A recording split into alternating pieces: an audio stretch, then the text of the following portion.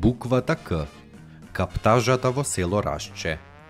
Во подножјето на планината Жеден се наоѓа изворот Рашче.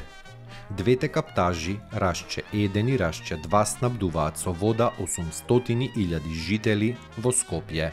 Но ретко кој знае дека планинскиот масив Жеден е заслужен за тоа, за тоа што ја стопира водата што надоаѓа од полошкиот крај од шара и ја складира како природен резервоар и истовремено ја прочистува. Околу 70% од капацитетот на изворот е од шарпланина, 20% е од Жеден, додека 10% доаѓа од реката Вардар. Инзворедна карактеристика на изворот е тоа што има инверзен карактер. По капацитетот е најголем во лето кога потребата за вода исто така е зголемена. Изворот е повисок 45 метри од Скопје и тоа овозможува водата сама да стигне гравитацијски до градот под поволен притисок.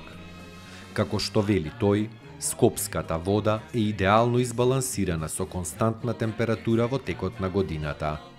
Водата во самите станици и лаборатории се испитува секојдневно и вонредно на два месеци. Иако незините параметри не се менуваат со децении, ниту се појавил одреден негативен индикатор.